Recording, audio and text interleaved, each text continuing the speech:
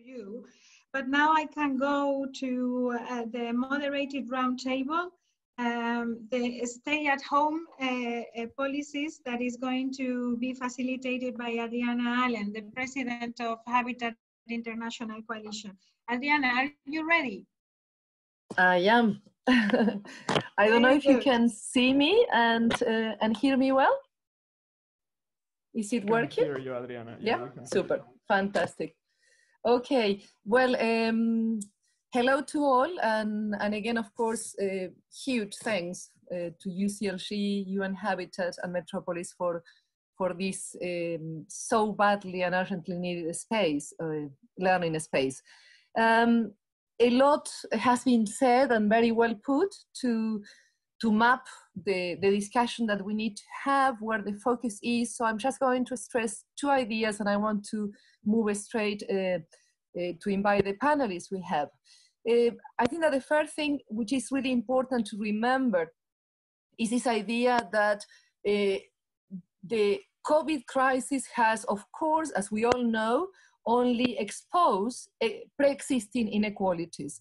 And those are, uh, at least when it comes to home and to the, uh, the importance of housing, at least show us that there are at least three very different groups with present very different challenges. On the one hand, we have people, a few perhaps, in many of our cities for whom staying at home might actually work as a protective measure. We have many for whom staying at home, even when there is a roof, uh, might uh, add uh, additional threats like that of uh, domestic violence, um, um, further economic uh, precarity. And of course, we have those for whom a large majority across many cities in the global south, for whom staying at home is an impossibility.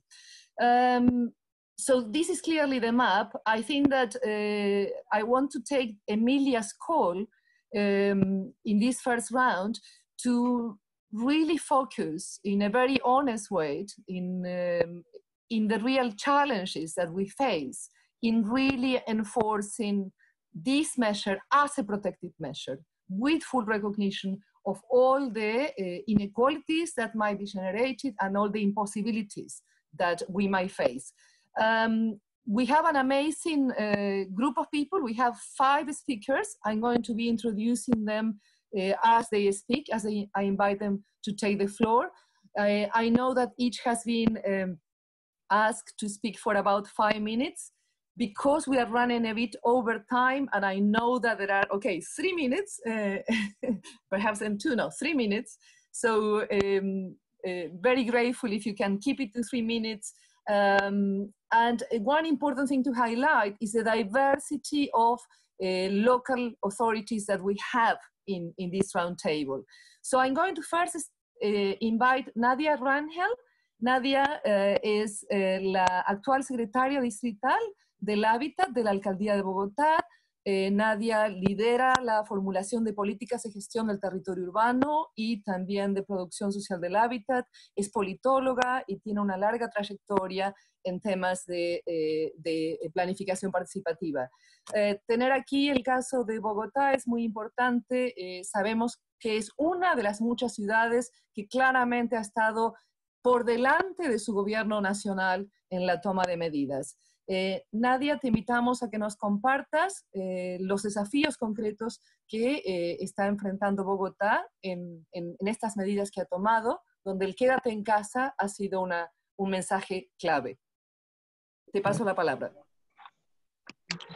Muy buenos días. ¿Me escuchan bien? Sí, perfecto. Ok.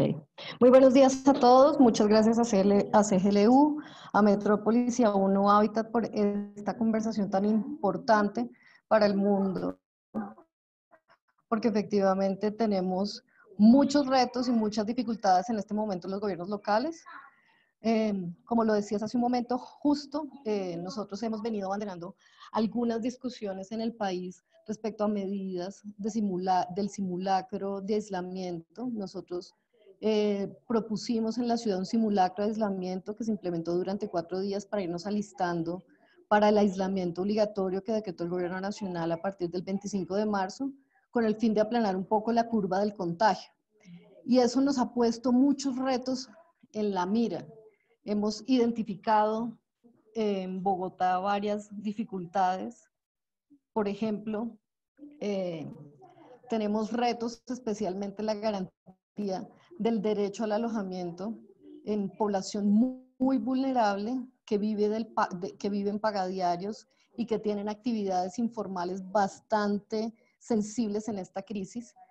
Por ejemplo, eh, personas que tienen venta callejera, personas que ejercen eh, trabajo sexual, personas que viven del reciclaje, eh, que con las reducciones de la actividad comercial no han podido recuperar material ni reciclar material.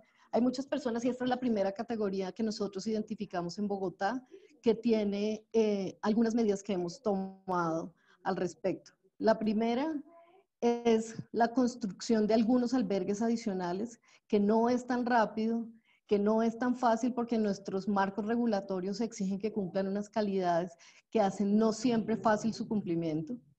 Segundo, em, estamos identificando formas de, por medio de ayuda humanitaria, eh, tener la posibilidad de entregar algunos recursos para que la gente no la saquen y no la expulsen. El gobierno nacional ha expedido algunas medidas que nos permiten agarrarnos de, esta, de evitar, como una de las preguntas que hacían ahora, de moratorias de pago para que no saquen a la gente y definió ayer incluso que tienen hasta dos meses después de que se acabe el confinamiento para hacerlo. Eh, para no hacerlo, para no evitar, para, para no sacar a la gente.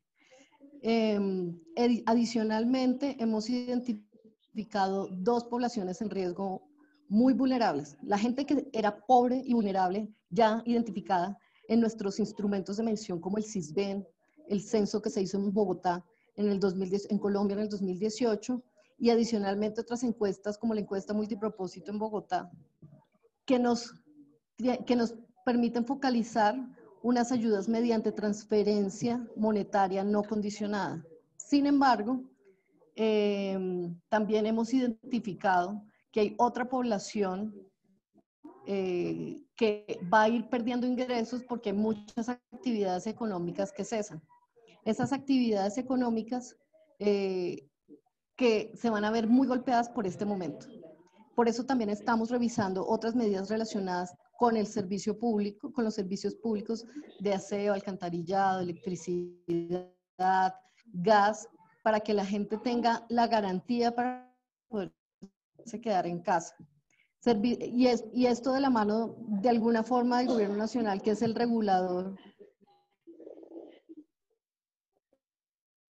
en materia de servicios públicos, servicios a la gente, y definió tener un crédito de respaldo al que nosotros estamos evaluando cómo lo podemos extender para otros estratos y es para los estratos 1 y 2, que son los estratos de menores ingresos en el país geolocalizadamente, no eh, pueden dejar de pagar y pueden rediferir a 36 meses sus pagos de servicios públicos. Nosotros queremos evaluar la extensión a otros estratos con mayores ingresos que se van a ver golpeados por la crisis.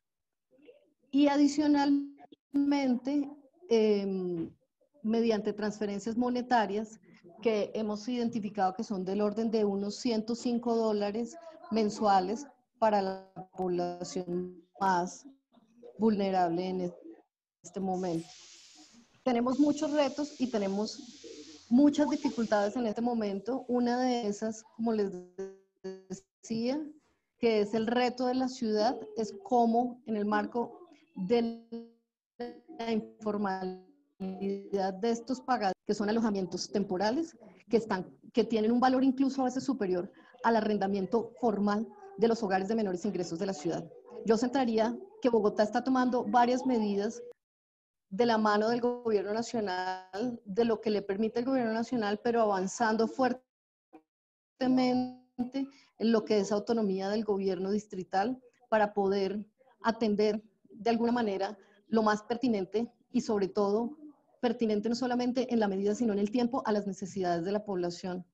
Bogotá tiene el 32% de desarrollo informal, más de 500 mil personas hemos identificado con vulnerabilidad y tenemos una alta tasa de migrantes venezolanos que están presionando eh, y están pujando por la vivienda formal e informal en la ciudad. Y ese es un gran reto para la ciudad.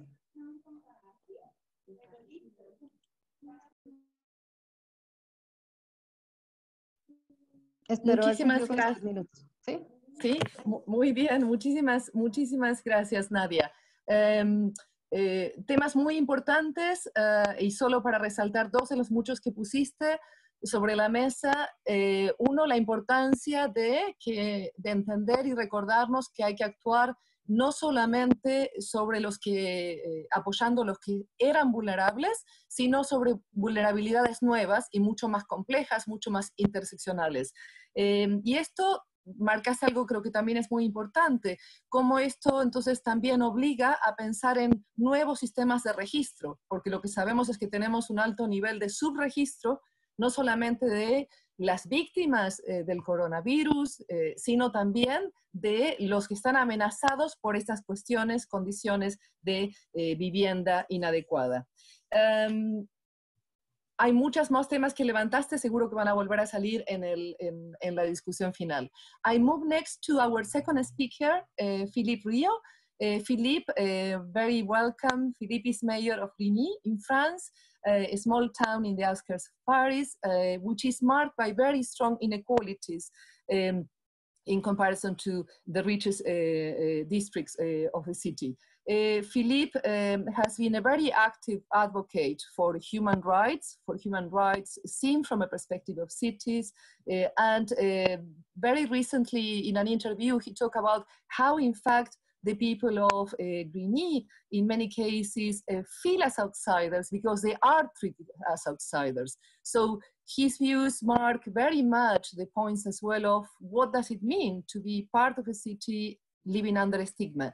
Philippe, I'm sure you are going to bring many uh, connected issues to these um, uh, in the challenges faced uh, from Grigny and in your wider perspective. The floor is yours.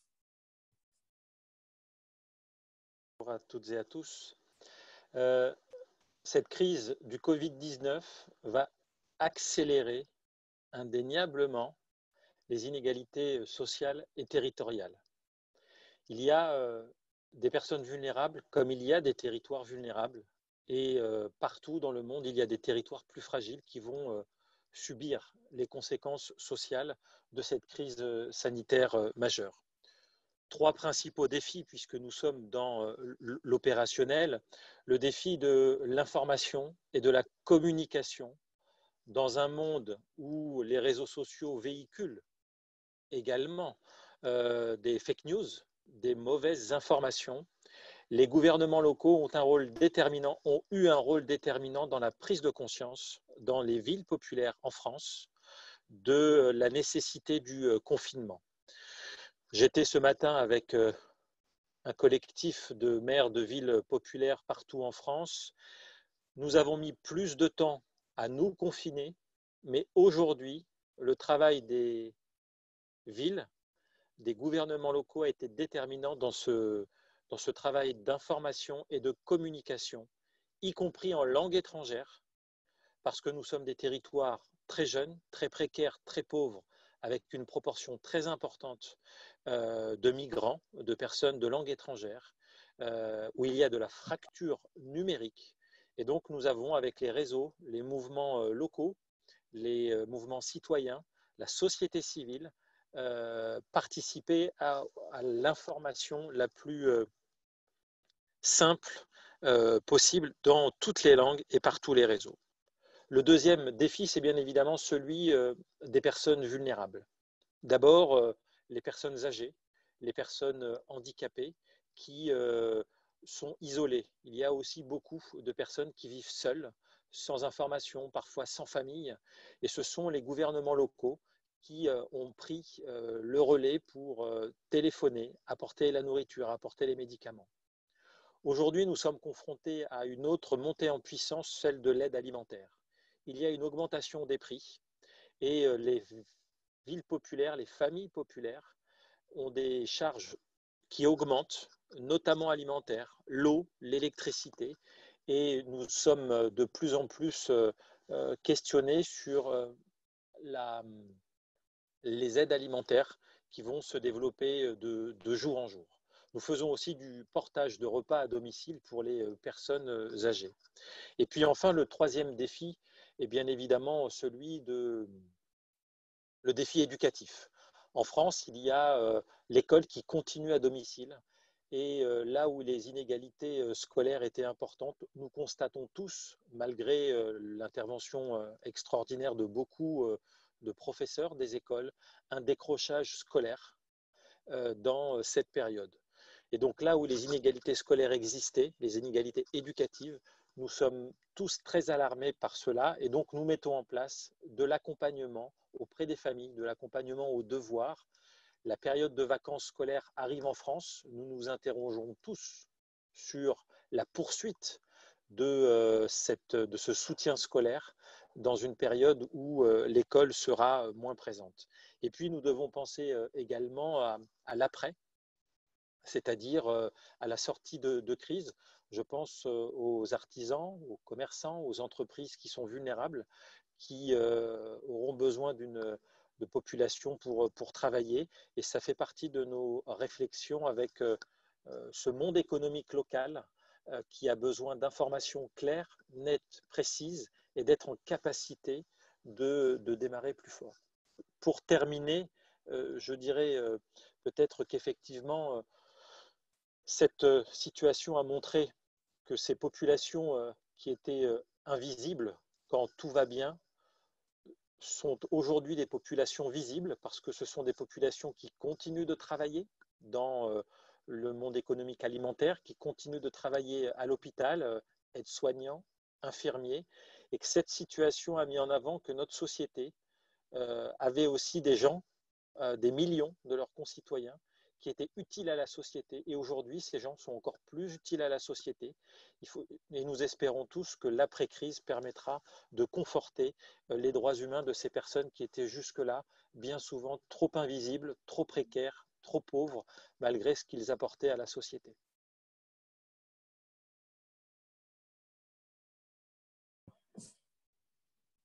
Merci, merci beaucoup, Philippe.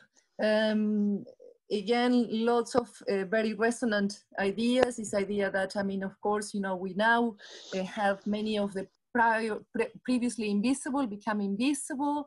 Uh, a, a, very sobering reminder about the multiple conditions that uh, have to come together to really make home a safe place and the possibility to stay at home a, a protective measure. Uh, many more things to, to share. Uh, I'm sure that we will pick them up uh, in the debate. Uh, conscious of the time, I want to move to and welcome our third speaker. Um, uh, welcome, Patricia. Patricia Awa Wasenan, Usenan is by mayor of Cocody in Ivory Coast. Uh, we know we are now moving to Africa. We know that uh, in, in Africa, the, the, the uh, coronavirus is hitting with certain delay in relation to the conditions that we now face, number of victims, uh, people affected, death, and so on, that we face in Europe, um, parts of Asia, and North America. However, we also know that uh, these measures can have devastating impacts precisely because of the conditions that we discussed before. The extent to which many people live in these two groups that uh, um, Leilani was uh, describing at the beginning. People that live in great uh, precariousness, uh, in informal settlements, or uh, under very risky conditions. Um, I'm going to give you the floor, Patricia, The word is yours. Alors, bonjour à tous. Bonjour à tous. Alors, euh, chez nous, disons que la pandémie commence à progresser. Euh, depuis le début du mois, euh, nous sommes à à peu près 179 cas aujourd'hui, disons, en attendant les confirmations de ce jour. Hier, on était à 179 cas avec un décès. Et euh, la plupart de ces cas sont euh, confinés à Abidjan, c'est-à-dire la capitale même du pays. Alors, euh, ce que nous avons fait, disons que le gouvernement a demandé un confinement progressif en fonction de l'évolution de la pandémie, mais cela n'est pas encore mis en place au plan national quand on regarde bien. Ce que ils ont demandé aussi, ils ont demandé à ce qu'on limite la circulation entre le Grand Abidjan et puis les villes de l'intérieur. Et cela depuis le dimanche et euh, on, recommande aux gens, quand ils n'ont rien à faire euh, dehors, de rester chez eux.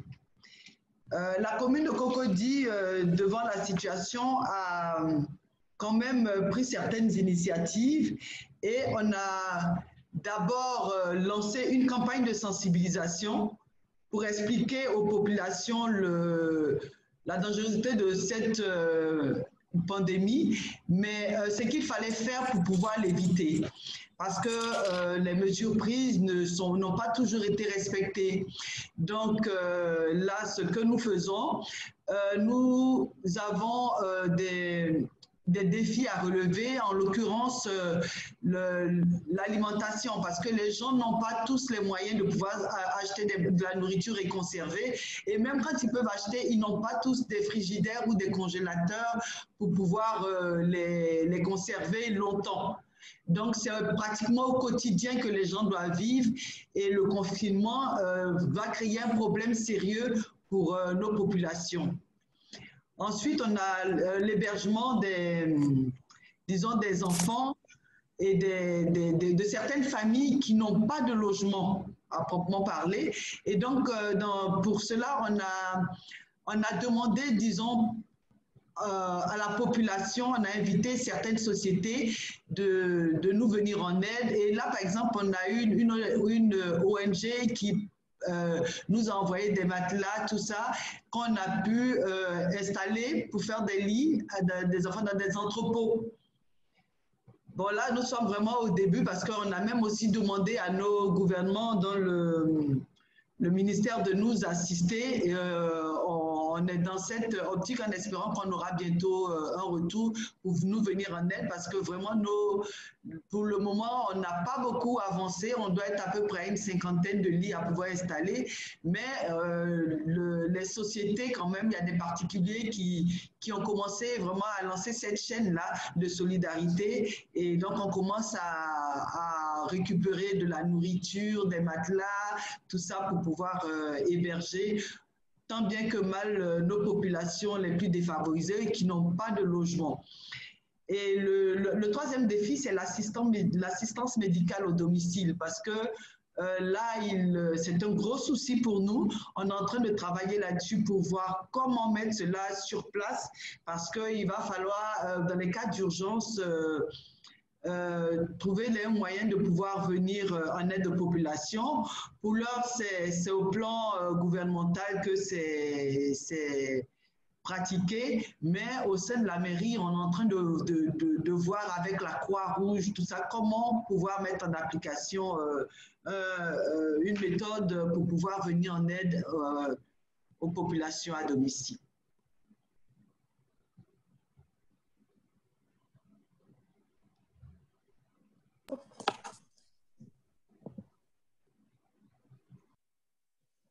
Many, many thanks, uh, uh, Patricia. Uh, so we can see a, a, number of measures kicking off um, beyond the, the, the, initial delay and this idea of a step-by-step -step containment, which is something that I'm sure others will want to discuss because uh, very staggered step-by-step containment measures have, um, have proved uh, quite problematic in many other contexts, including the context where I'm now sitting from in London. Um, I think that there were two additional points which are very, very important here, and again, adding to, to other that resonate with other things that have been said. This idea and this the importance, for instance, of thinking how crucial lifelines like food yeah, uh, needs to reach households so that people can really stay at home. So even in those cases where you might have a roof, you know, how do you get that? Medical uh, assistance, education, and so on, and particular protection.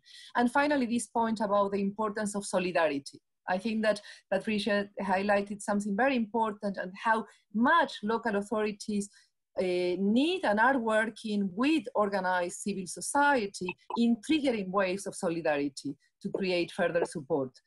I'm going to invite our, many thanks again, Patricia. I'm going to invite our fourth speaker, um, Esperance uh, Mwamikazi Bahami, uh, who is a mayor of Bukavu in the Democratic Republic of Congo.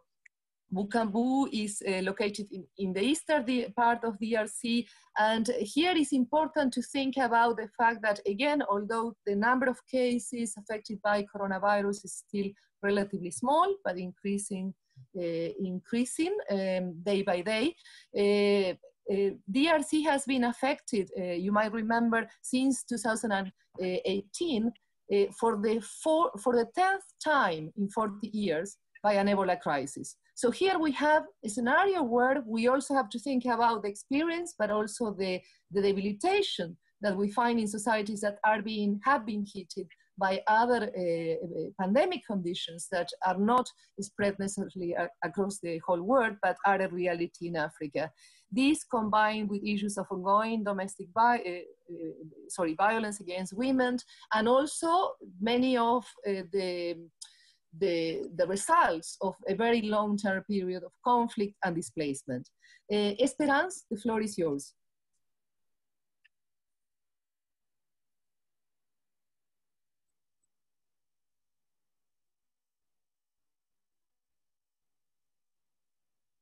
Si vous me suivez. Hello.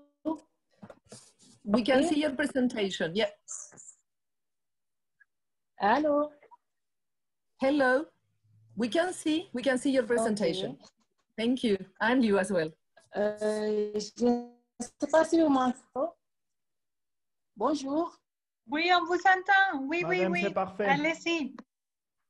Ok, ok, je m'appelle euh, Madame euh, Espérance Momikazi. Je suis euh, de la RD Congo, République démocratique du Congo, dans la province du Sud Kivu.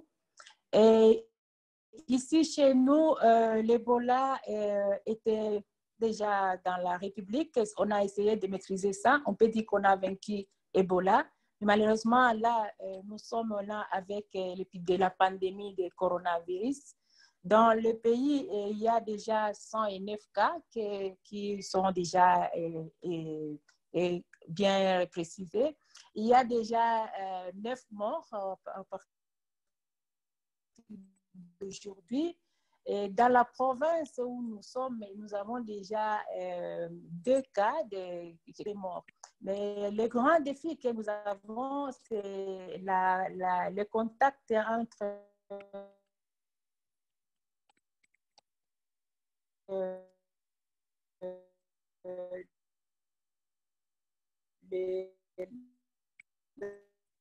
la République démocratique au niveau des 26 provinces sont déjà touchées. Mm. Au sud Kivu, il y a deux. Au nord Kivu, il y a un cas. Au Kassa, il y a un cas. À Ituri, aussi, nous avons avec euh, le, les provinces, il n'y a pas encore hein, le, les matériaux, l'équipe pour, euh, pour tester l'Ebola. Donc, quand on, on, on, on, trouve les cas de suspicion, on est en train de prendre les cas et les envoyer jusqu'à Kinshasa et à Kinshasa et les provinces, alors que le Kinshasa déjà est dans mode de confinement, il n'y a pas de vol qui quitte Kinshasa pour aller dans chaque province. Et là, nous sommes euh, coincés quand, il y a les confinements. Il y a l'OMS, Organisation mondiale de la santé, qui prend les résultats, ils amènent ça jusqu'à Kinshasa pour tester. Dans la province du Sud, par exemple, on n'a pas encore les, les, laboratoires pour euh, tester. Ils viennent de tester avec ces autres cas, les deux personnes avec lesquelles ils étaient ici localement. On n'en sait pas encore on ne sait pas combien. Donc, on ne peut pas dire exactement si c'est seulement ces deux cas qu'il y a ou pas. Et là, c'est encore au niveau de la province. Mais quand nous allons maintenant au niveau des, des, villages ou des communes rurales, nous, avons, nous aurons un sérieux problème parce que déjà en Afrique, comme nous au Congo, les maisons ont beaucoup, beaucoup de, les familles ont beaucoup d'enfants et nous avons des petites maisons. Et chaque, chaque famille, on peut trouver 5, 6 à 8 personnes dans une petite maison. Et dès que les cas, ils auront des cas dans les familles, nous pensons qu'on aura beaucoup de problèmes parce que là, c'est question comment confiner les personnes, comment mettre les personnes en, quarantaine alors que la maison est petite. Et dans les, dans les villages aussi, il n'y a pas beaucoup d'hôpitaux. Euh, chez nous, par exemple, nous avons un, grand, un seul grand hôpital. Et donc, avec ça, l'hôpital n'est pas équipé avec les, les tests déjà jusqu'à ce moment, on ne peut pas dire que les, les corona peut euh, être bien soigner chez nous parce que les matériaux ne sont pas. Et en plus, le contact entre le manque de synergie entre les provinces et les gouvernements centraux, ça fait encore un grand problème. Et jusqu'au niveau où les, les, gens, les gens qui ne sont pas payés, on a parlé au niveau de Kinshasa des confinements, mais euh, le premier jour qu'on a parlé de confinement, c'était un boom dans le marché. Il y a beaucoup de gens qui sont sortis pour aller c'est chercher quelque chose à manger. Et donc là, euh, puis on a arrêté parce qu'on a vu que c'était vraiment un engouement total et un panique générale, panique générale au niveau de la population. Espérance, donc, pardon, pardon d'interrompre. Est-ce que vous pourriez couper la vidéo? d'abord ça? Et au niveau de la province, on essaie d'être possible chez soi, de se laver les mains, de, de, de, de gens pas.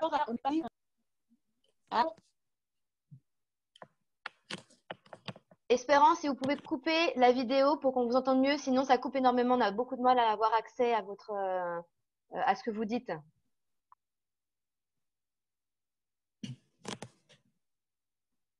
We will get back to the mayor, Adriana. Please, the floor, yes. the floor is yours. Sure, Th thank you so much. Um, thanks, Esperance. Um, the, the, the connection was a, bit um, difficult to follow, but I think that we got very much the picture, uh, a very clear picture on the many difficulties faced in really making containment a wholly possibility um, vis-a-vis, again, the many ways in which crucial capacities for the many phases connected to housing, but also to many other measures of uh, uh, protection uh, have been weakened as well as, as it was mentioned before by previous uh, pandemics. We have uh, our fifth and final speaker, so I'm going to speed up a bit. I know that we are really pushed for time and we have many, we have another roundtable and many people on the floor making, uh, and in the chat, making great comments and probably wanted to add to the discussion. Um, let me please um, welcome Mayor Mariam Idrisu. Uh, Mariam is the, the uh, mayor of uh, Sanagirigu, uh, pardon, uh, sorry, in Ghana. Uh, this is uh, Sanagirigu is not only the youngest or one of the youngest, I understand, municipalities of Ghana, but also Mariam herself is the youngest mayor in the whole country since she was elected, I think she was elected back in 2017. Without further delay, Mariam, the floor is yours.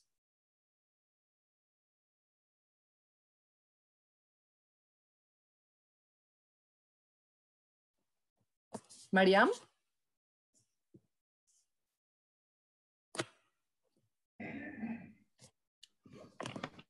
Do we have Mariam?